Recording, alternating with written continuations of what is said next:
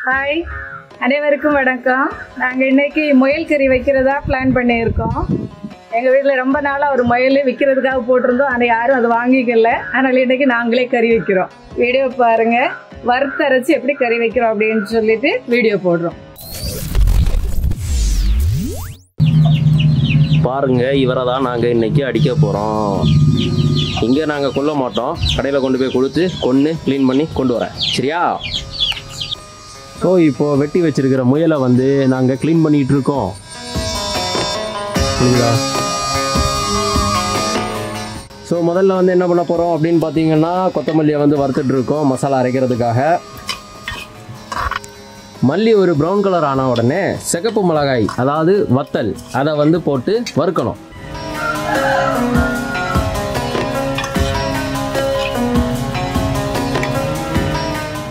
அது கூடவே சேர்த்து மிளகையும் சேர்த்து போட்டுட்டு வறுக்கணும். எல்லாமே நல்லா வெந்த உடனே என்ன பண்ண போகிறோம் அப்படின்னு பார்த்தீங்கன்னா பிளேட்டில் சேஞ்ச் பண்ணி அதை ஆற வச்சு அரைக்க போகிறோம் தேங்காய் எண்ணெயை ஊற்றி துருவி வச்சுருக்கிற தேங்காவை போட்டு அந்த தேங்காவை வறுக்க போகிறோம்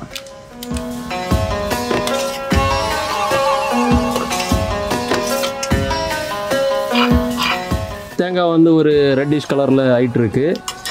இன்னும் கொஞ்சம் கூட வேக வேண்டியது இருக்குது வெந்த உடனே வந்து அதையும் பிளேட்டில் மாற்றிட்டு எல்லா மசாலா எல்லாம் போட்டு அரைக்க போகிறோம் இப்போ வந்து ஒரு மீடியம் லெவலில் தேங்காய் வந்து வெந்திருக்கு. அது கூட வந்து என்ன பண்ண போகிறோம் அப்படின்னு பார்த்தீங்கன்னா கசகசாவை ஆட் பண்ணுறோம் பெருஞ்சீரகம் போடுறோம். அதை போட்டுட்டு இப்போது வறுக்க போகிறோம் ஸோ பெருஞ்சீரகம் போட்டு கசகசா போட்டு அந்த தேங்காவை வந்து வறுத்துட்டு வறுத்து முடிச்சாச்சு. இனி வந்து அதை என்ன பண்ண போகிறோம் இறக்கி வச்சு ஆற வச்சதுக்கப்புறம் அதை அரைக்க போகிறோம் அதாகப்பட்டது மகாஜனங்களே நாம் இப்போ என்ன பண்ண போகிறோம் அப்படின்னு பார்த்தீங்கன்னா ஒரு மண்பானையை வச்சு அதில் கொஞ்சோண்டு தேங்காய் எண்ணெயை ஊற்ற போகிறோம்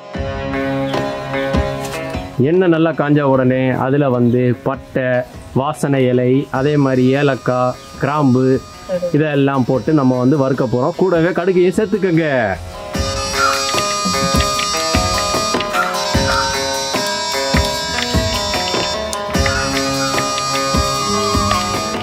கருவேப்பிலையை முதல்ல போட்டுட்டு உடனே சின்ன வெங்காயத்தை அதில் போடுறோம். வெங்காயம் வந்துட்டு இருக்கும்போதே ஐம்பது கிராம் பூண்டும் ஐம்பது கிராம் இஞ்சியும் ரெண்டு பச்சை மிளகாவும் சேர்த்து அரைச்சி வச்ச கலவையிலேருந்து உங்களுக்கு தேவையான ஸ்பூனை வாங்கி அதில் போட்டுக்கலாம். இப்போ நாங்கள் அதில் போட போகிறோம்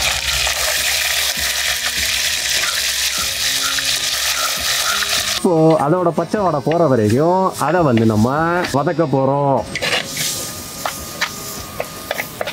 அது வந்துட்டு இருக்கும்போது என்ன பண்ண போகிறோம்னா வெட்டி வச்சிருக்கிற ரெண்டு தக்காளியும் ஒரு மிளகாவையும் அது கூட சேர்ந்து கலந்து வதக்க போகிறோம்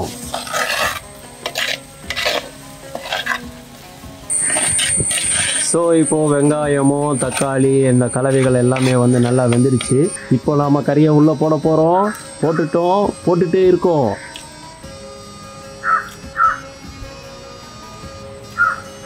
இப்போ நம்ம கறியை வந்து மசாலா எல்லாம் படுற மாதிரி கிளறி விட போகிறோம்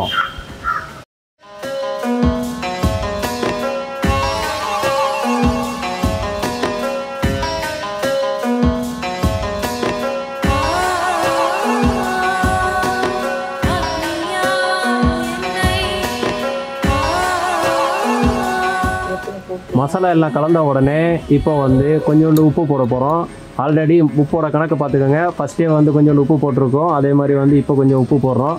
அண்ட் uh, அது கூடவே சேர்த்து மஞ்சள் பொடியும் சேர்த்து போட்டுட்டு திரும்பவும் ஒரு வாட்டி மிக்ஸ் பண்ண போகிறோம்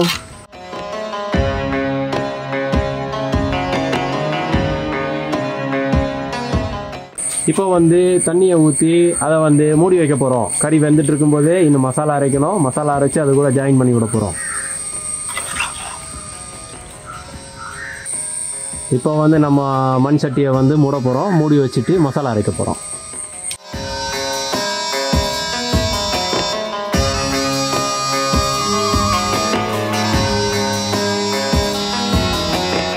இப்போ வந்து வீடியோவோட தொடக்கத்தில் நம்ம வறுத்து வச்சுருந்த மல்லி காஞ்ச மிளகா அப்புறம் மிளகு வறுத்த தேங்காய் அப்புறம் சோம்பு இது எல்லாத்தையும் வந்து நாங்கள் அரைச்சி வச்சுருக்குறோம்.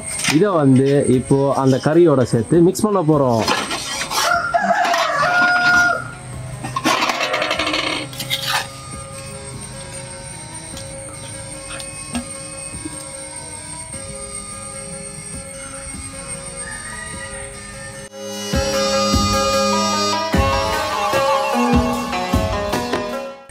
மிக்ஸ் பண்ணி முடித்த உடனே கிளறி விட்டுருங்க அதை.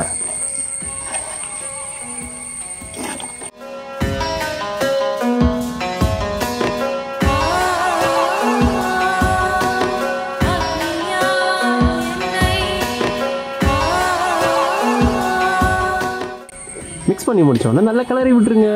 அப்புறம் திரும்ப மூடி வச்சிருங்க. பத்து நிமிஷத்துக்கு ஒரு வாட்டி திறந்து ஒரு ஒரு வாட்டியும் கிண்டி விடுங்க. ஸோ கரெக்டாக பத்து நிமிஷம் ஆச்சு. இப்போ நாங்கள் வந்து அதை ஓப்பன் பண்ணி கிளற போகிறோம்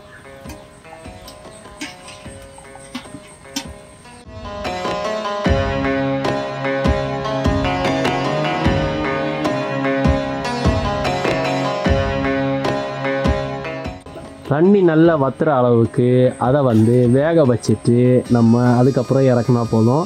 இப்போ திரும்பவும் அடுத்த பத்து நிமிஷத்துக்காக நாங்கள் வெயிட் பண்ணிகிட்டு இருக்கோம். இப்போ நாங்கள் மூடி வச்சுட்டு போக போகிறோம் இன்னும் ஒரு பத்து நிமிஷம் கழித்து நீங்கள் அதை ஓப்பன் பண்ணி உங்களுக்கு தேவையான டிஷ்ஷஸ் ரைஸ் கூட சேர்த்து சாப்பிட்லாம் தோசை சப்பாத்தி எது கூட வேணாலும். நீங்கள் சேர்த்து சாப்பிட்லாம். இப்போ முயல் கறி ரெடி ஆயிடுச்சு குழம்பு பருவத்தில் அப்படி கிரேவியாக இருக்குது கொஞ்சம் நேரம் கழிச்சு ஒரு பத்து நிமிஷம் நீங்கள் இதை அடுப்புல இருந்து இறக்கி கீழே வச்சுட்டு ஆற விட்டு பயன்படுத்துங்க. சுவையார முயல் கறி ரெடி டேஸ்ட் பார்த்தாச்சு. சூப்பர் வாசனை. எல்லாமே கரெக்டாக இருக்குது நீங்களும் சமைச்சு சாப்பிட்டு பார்த்துட்டு கமெண்ட் பண்ணுங்க. அனைவருக்கும் வணக்கம்.